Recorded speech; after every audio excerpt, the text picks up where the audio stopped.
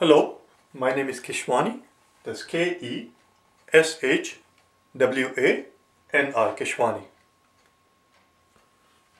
I have been solving math problems out of this book here, practicing to take the GRE, the General Test, 10th edition.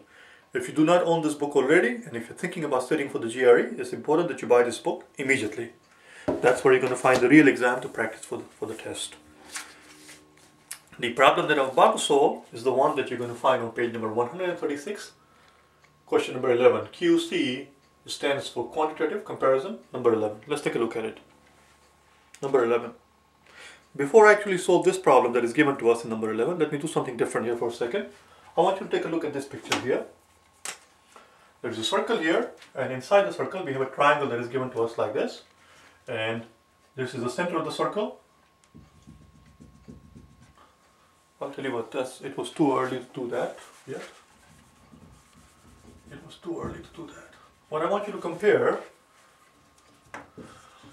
column A, column B,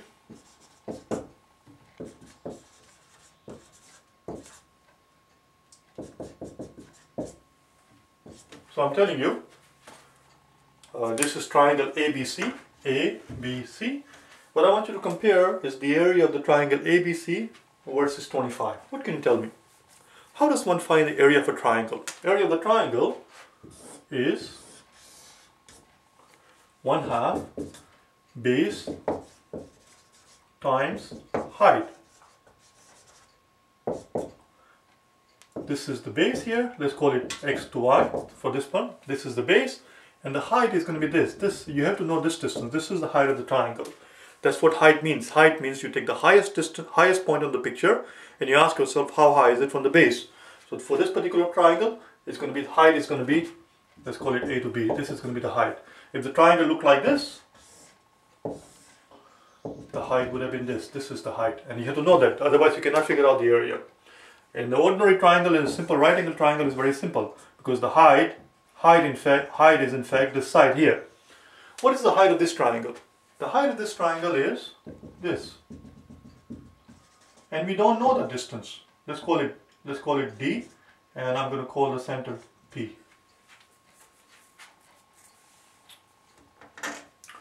Do we know the distance uh, CD? No, we do not. We, there is no way of knowing the CD. So how am I supposed to figure out the area of the triangle ABC if I do not know the height of the triangle? Let me repeat the question one more time. How am I supposed to figure out the area of the triangle ABC if I do not know the height of the triangle? If you ask yourself that question, then you are still then you are still missing the point of these questions. You are still missing the point of this quantitative comparison. These are called quantitative comparison. They are not called quantitative computation. Nobody is asking you to figure out the area of the triangle. That is not what we are being asked. All we are being asked is, are you able to tell me, are you, are you quick enough to tell me whether the area of this triangle more than, less than, or equal to 25? And that can be done. How can we do that? Well, let's take a look. The height here, C to D, whatever that is, here's the center of the circle. So this distance here, let's call it P to Q. What does P to Q represent? P to Q, let me erase all of this extra part here.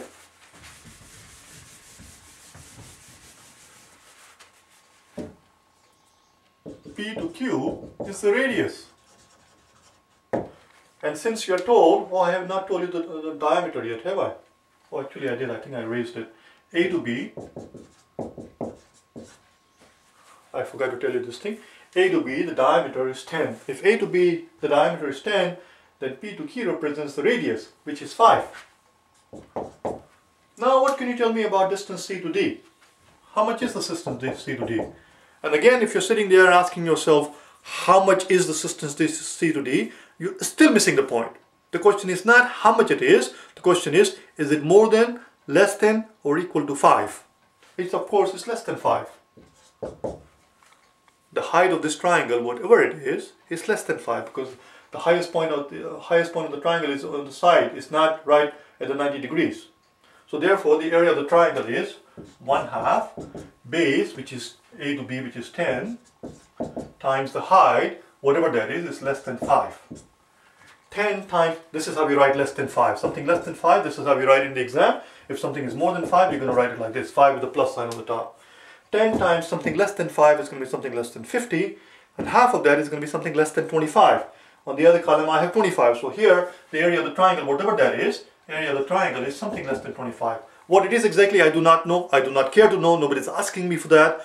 All I had to figure out is whether it's more than or less than 25, which we have just done. It is less than 25, and therefore the answer is B. That's all. That's all. Now I'm gonna now I'm gonna change the question a little bit, and I'm gonna put it in a different color. I'm gonna change the question a little bit. Let's suppose that instead of instead of 25, you had given instead of 25, the quantity that was given to you was 20. Then what would have been the answer? If the quantity that was given to you in column B was 20, and all we know, all we can tell for certain is that the area of this triangle, whatever it is, is less than 25, but we cannot tell how much less than 25 because we don't know where the point C is. The triangle may look like this, triangle may look like this, or triangle may, may look like, like, like this. We don't know where C is. If C might be down here all the way, the height is going to be very little. If the C is way over here, the height is going to be very little. It's going to have a very small area. All we can tell is that it's less than 25, but we cannot tell anything more than that. In which case, had this quantity been 20 instead of 25, the answer would have been D. Because we cannot compare. All we know is less than 25. We are asked to compare it with 20. It could be more than 20. It could be less than 20. Because all I know is that it is less than 25. Now let's do the problem that is given to us. I'm going to very, very quickly go in the back of the I'm going to very quickly go in the back and see how much time I have taken so far. Oh boy, I'm seven minutes into it, so I have to wrap it up very quickly. Let's take a look at the problem.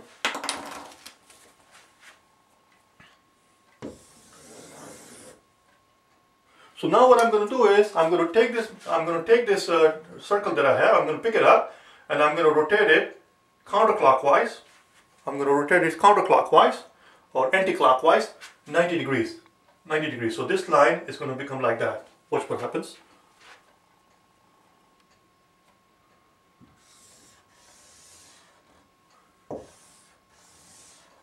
See this triangle? I picked it up and I rotated it. Nothing has changed. It's still the height of this triangle is less than 5. They should line up here.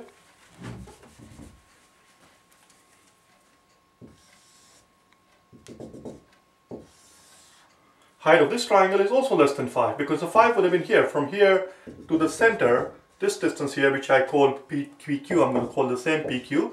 That PQ is 5 because I'm told that the diameter in this picture, somewhere we are told the diameter, there you go, diameter of the circle is 10.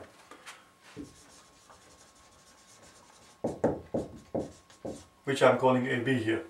So if P to Q is 5, then this distance from here to here, whatever that is, which I've been calling C to D, so I'm going to keep calling it C to D, that has to be less than 5.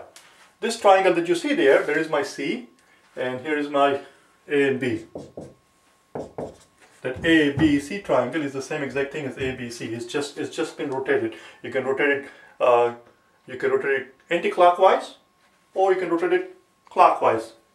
This is the this is other half, this is other half. And we just established that the area of this triangle ABC is less than 25. Area of this triangle is less than 25 and therefore the area of the whole thing together, all I can tell for sure that it is the area of this thing is less than 50 and that's all I can tell.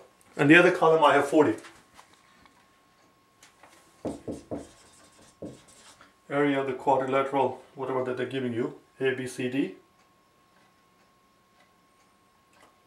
My notations have been messed up. The, the, the notation that they use there for ABCD is different than what I'm using here. Don't worry about this. This area of the quadrilateral ABC, I already used the D there, right here. I'm going to call it E. ABCE is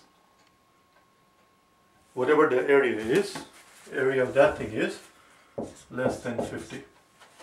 Or if you want to write it differently, you're going to say the area of A, B, C, E is equal to something less than 50. But some, simply telling me that it's something less than 50 does not tell me how it compares with 40. It could be 45, it could be 41, it could be 38. I can't tell how it compares with 40. Therefore the answer is D. That's all. That's all.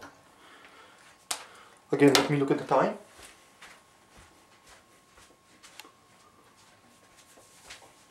I'm going to wrap it up.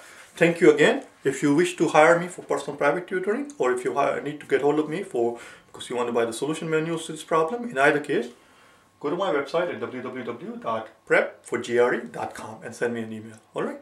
Thank you.